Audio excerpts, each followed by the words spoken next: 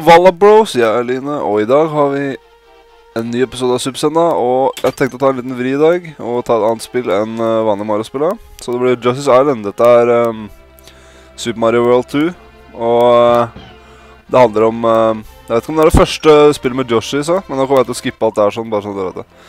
Men jeg vet ikke om det er det første spillet med Joshi sa i, eller om det er um, har vært spill med Joshi før, men i hvert fall her sånn så skal Joshi hjelpe Mario gjennom banen og finne tvillingbroren sin. Og Mario er altså baby, han har ikke blitt voksen ennå. Dette var sikkert før han begynte på Shrooms, så det kan bli gøy.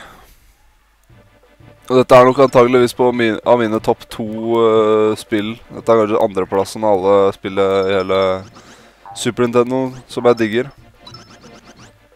Og uh, dette er faktisk runda 100 det spillet her. Så Men det kommer jeg så klart ikke til å gjøre nå, da. Jeg kommer bare til å spille av Spille igjen et par baner. Kanskje jeg fortsetter på dette her, fortsetter på Mario neste gang. Jeg kommer til å spille litt forskjellige spill, men jeg kommer alltid til å fortsette der jeg slapp uh, sist, da, på alle spillene. Så hvis jeg tar opp Mario igjen, så kommer jeg til å så, så begynne der jeg kom, liksom. Så Men det er greit med litt variasjon. Og det som er greia i det spillet, er sånn, det er å finne alle På én bane da, så er det forskjellige items som finner. Det er fem sånne Sånne blomster. Og så er det Oi, faen. Og så er det 30 røde mynter, tror jeg det er. Nå er, jeg, nå er jeg ikke helt sikker. Det kan jeg se nå. Ja, 30 Nei, 30 stjerner er det. 20 røde mynter og 5 5 flowers.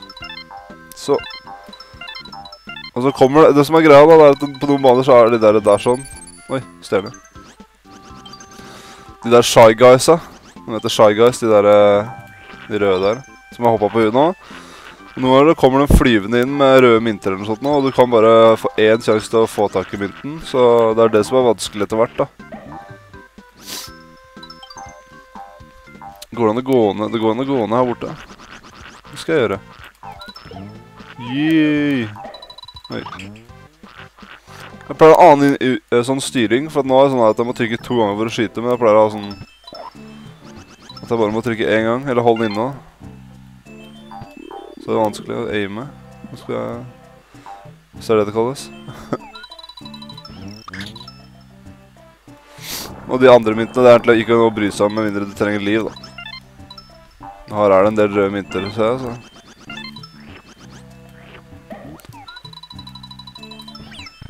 Nei. Ja, det som er Hvis du mister Baby Mario, så begynner Det er den eneste måten å tape på her, da. Da mister du eh, stjerner. Og det kan være vanskelig å få tak i etter hvert. Kan jeg treffe opp den der tulipanen, eller? Der, ja. Uh, grunnen til at jeg oppdaga den commentaryen uh, som jeg ikke visste om jeg kom til å oppdage denne uka her eller neste uke, Grunnen til at jeg uploada den og sånn, nå, det er at jeg ikke veit faktisk om jeg har nett hos uh, faren min nå. Så det kan at jeg ikke får oppdaga noe særlig neste uke heller. Og hvis det er så, så er det jævlig kjipt, men uh, får ikke gjort noe med det. Jeg håper, håper jeg har nett, da. For jeg må få oppdaga ting. så blir jeg til å dra til noen med minnepenn med videoer. Få se. Desperate Times. Gå da. Så kan hende at dere ikke ser meg på et par dager, men uh, det går vel bra. For jeg har vel opplevd nok denne uka her sånn til å kunne se på Hvis, hvis dere er interessert i å se på meg, så har dere vel nok å se på, for å si det sånn. Yay. Hvor mange mynter har vi nå? 18 mynter. Mangler to mynter. Håper det er noen stjerner oppi her, da. Stjerner, yeah.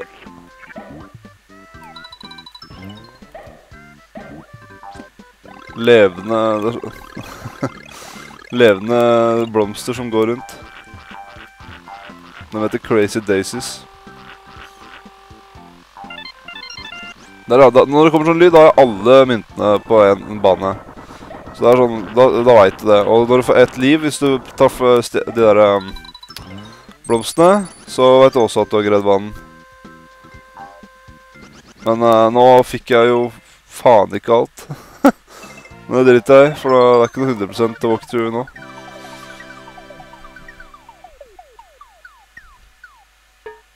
Ja, hvis du har alle blomstene, så nå havna han jo på en uh, blomst jeg ikke hadde da. Men hvis du har alle blomstene, så får du fylt opp alle de der greiene. Og hvis du, hvis du lander på en uh, blomst, da kommer du til et minigame. Og da kan du få liv og sånt noe, så det er litt greit å skaffe alle blomstene. Men fuck that shit. Åssen klarte jeg å glemme en blomst, da? Det er jo første banen, jo.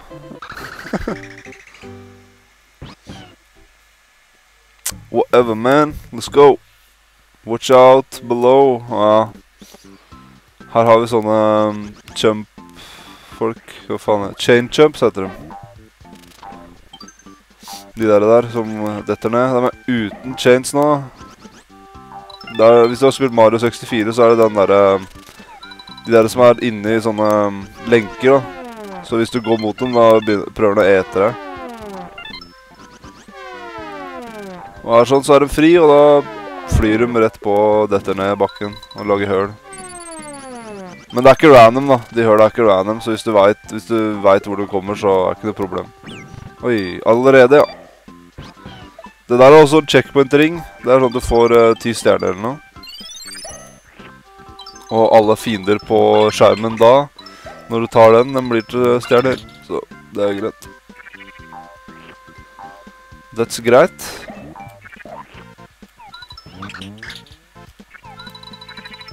Let's go! Å, det her, ja. Det er vel ikke noe tilbake Nei, det er ikke noe her.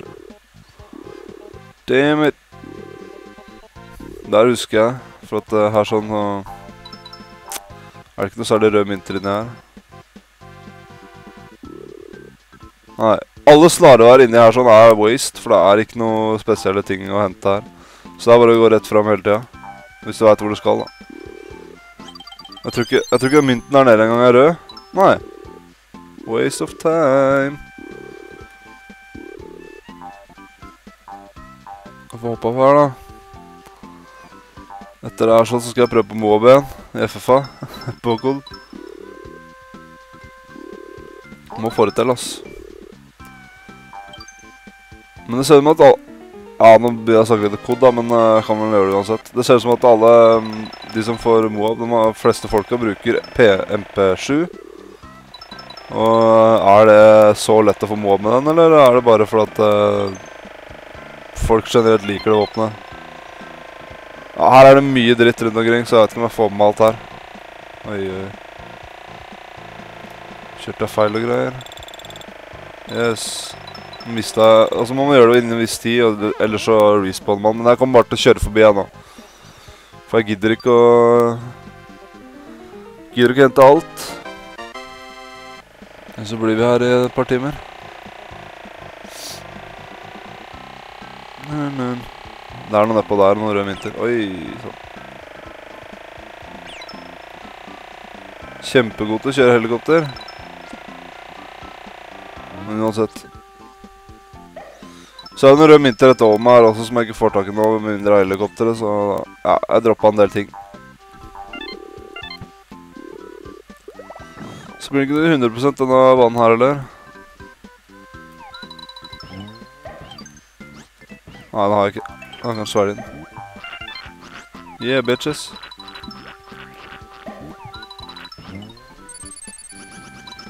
Ah, jeg har fulgt med stjerner i hvert fall. For da spawner det mynter isteden. Og der var banen over. Hvor, hvor mye fella jeg? Ja, tre mynter og en, uh, en blomst. Det funker, det.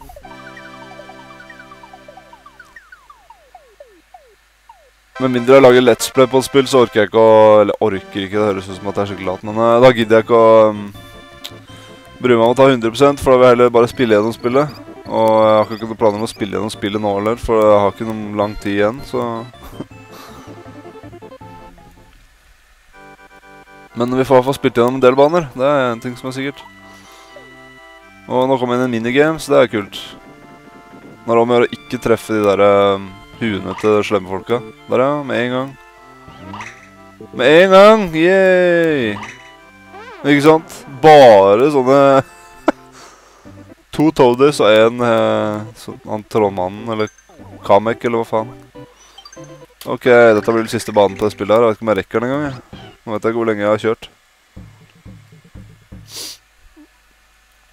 Men uansett, let's go. Oi, da kom en jump rock med bilder av de der eh, jump, chain jumpsa. du trenger egentlig ikke den noe særlig, så. Du trenger ikke å ta med deg videre hvis du ikke vil ha den. Og det er noen ganger røde mynter i de der um, de der stakene eller hva det er for noe. Så det er lurt å få med seg dem. Her er den der, ja. Oi.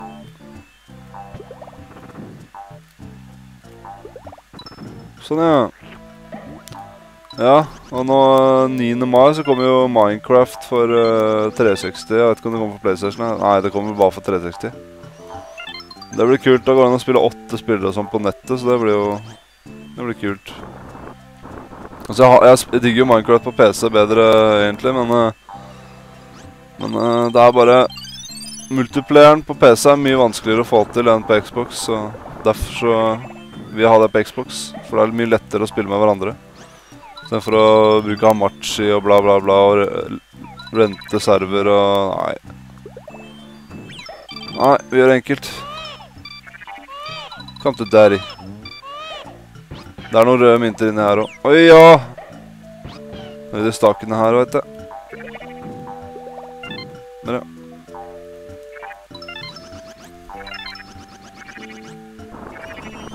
Å, gå, da! Det var ikke her jeg måtte bruke den standen. Det er et sted du må bruke den standen for å hoppe opp etterpå. Så. Det er liv inni her, tror jeg. Jeg fikk jeg blomst for, Der, ja. Se jeg nøl, da! Jeg veit hvor ting er. oh my god.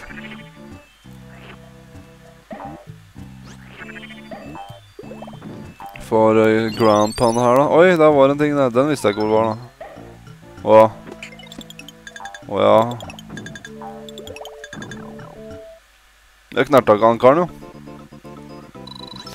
Men sånne steder kommer du til. Dette er sånn myntsted. Det er sånn Du kan få liv og sånn. Det er ikke noen røde mynter her inne, så Det er ikke noe du må til, det rommet her. Oi, der jeg. Yay. Uten en eneste liv. Let's go.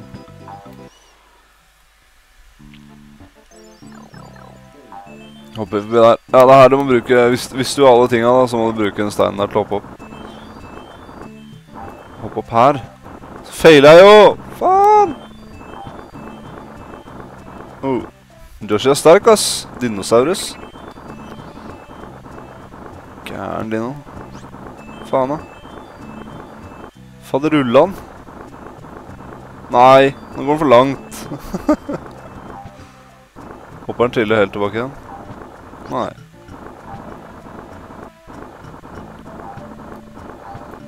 Ja, men uh, Kom igjen, da. Åh! Fuck den steinen der. Jeg vil ha de der tingene oppå der. Ikke sant?! Nei, ass. Kom igjen, da. Der, ja. Ok, nå, nå tar vi det rolig. Men det var sånn at når jeg tar det for rolig også, så kommer ikke den steinen opp på toppen her. Ok, nå. Kom igjen! Der, ja. Yes, ass. Etter mye om og men, seira vi. Down here. Let's go. There we go.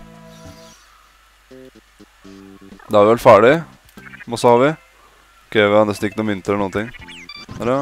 Mistet mer stjerner da. Åh, mann. Oi, oi.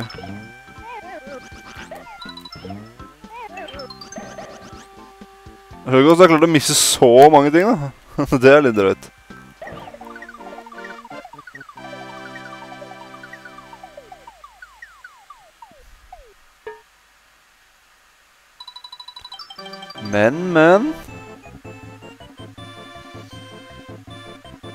Fikk en dårlig score, da. Det er ikke bra.